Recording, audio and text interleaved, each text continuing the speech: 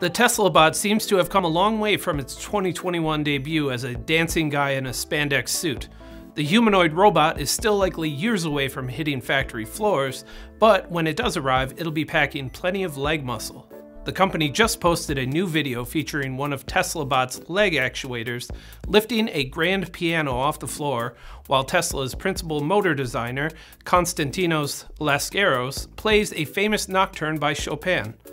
The actuator is suspended above the piano and attached to a harness, allowing it to hoist the half-ton musical instrument about one foot above the ground, while Konstantinos doesn't miss a note. It's a clever video showing off the lifting power in TeslaBot's leg actuators, and it's impressive when you consider that a fully functioning TeslaBot will have at least two legs with multiple motion mechanisms. Tesla has big plans for incorporating its humanoid robots into its factories, and the company foresees a future where thousands of Tesla bots could take over some of the most dull and repetitive tasks. According to the technical details revealed during last month's AI Day, the Tesla bot will be 5 feet 8 inches tall and weigh 125 pounds.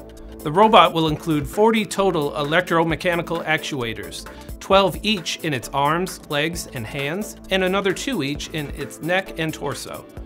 It will also feature a display screen where its face would be, and two axis feet for maintaining balance. Tesla clearly still has lots of work to do before its humanoid robot is ready for prime time, but CEO Elon Musk said it could go on sale within the next three to five years. And if leg pressing a grand piano is any measure of success, it seems like the company is making progress. I'm Ben Munson, and this is IEN Now.